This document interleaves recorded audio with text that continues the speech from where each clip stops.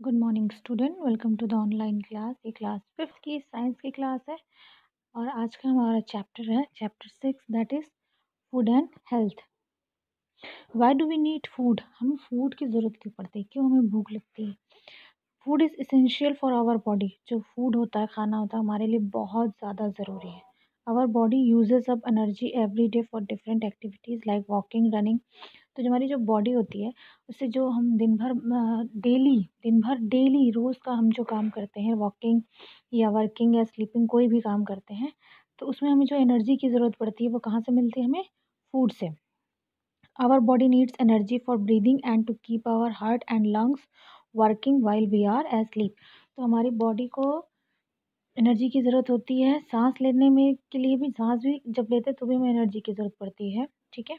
और हमारे हर्ट्स और लंग्स को वर्क करने के लिए भी जब हम सोते हैं। Food contain essential nutrients which helps to keep our bones, hair, nails, teeth and skin strong and healthy. तो जो फ़ूड होता है उसमें कुछ ऐसे न्यूट्रिएंट्स होते हैं जो हमारे बॉडी पार्ट्स को क्या करते हैं? हेल्दी रखते हैं। हमारे इम्यून सिस्टम को स्ट्रॉन्ग करते हैं। ठीक है, ताकि हम जल, जब हम बीमार हों तो वो जल्दी से जल्दी क्या हो जाए रिकवर हो जाए। It also helps to build and repair cells and tissues of our body जैसे हमारा कहीं से स्किन कट जाती तो वो क्या हो जाती है, थोड़े दिन बाद वापस वहाँ पर स्किन आ जाती तो ये ये ये प्रोसेस होने के लिए भी हमें क्या ज़रूरत है? एनर्जी की न्यूट्रिएंट्स की तो वो सब हमें किससे मिलते हैं? फ़ूड से मिलते हैं, ठीक है ना?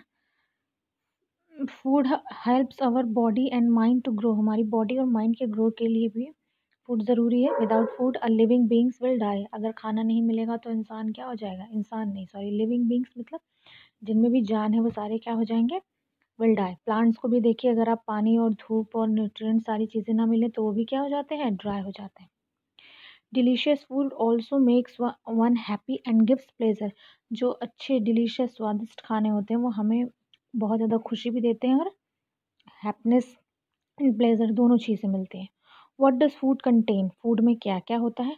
तो जो फ़ूड होता है, हमें ग्रो करने के लिए हमें और हमें ज़िंदा रखने के लिए हमें फ़ूड ज़रूरी है।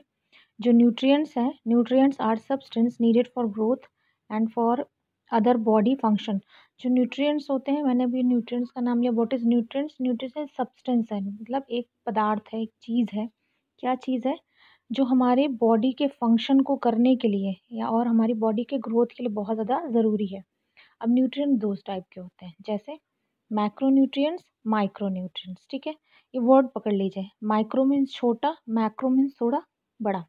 तो macro nutrients the word macro means large है तो मैक्रो का मतलब होता है लार्ज और माइक्रो का मतलब होता है छोटा मिनी तो the nutrients that are needed in large amount यानी हमारी बॉडी में दो तरह की रिक्वायरमेंट होती है। एक, ऐसे सब्सटेंस जिसकी हम न्यूट्रिएंट्स जिसकी हमें बहुत ज़्यादा क्वांटिटी में ज़रूरत होती है तो उसे कहते हैं मैक्रो न्यूट्रिएंट्स है ना? और कुछ होते हैं जिनकी हमें हमारी बॉडी में थोड़ी सी ज़रूरत होती है that is called micro nutrients तो माइक्रो माइक्रो न्यूट्रिएंट्स कौन कौन से हो गए? कार्बोहाइड्रेट फैट्स प्रोटीन्स हो गए।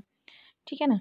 कार्बोहाइड्रेट्स क्या हैं? Carbohydrates the micro nutrients there are needed in the largest amount बहुत ज़्यादा अमाउंट में हमें चाहिए। है ना? ये मेन सोर्स ऑफ़ एनर्जी होता है, हमें सबसे ज़्यादा एनर्जी किससे मिलती है? कार्बोहाइड्रेट से।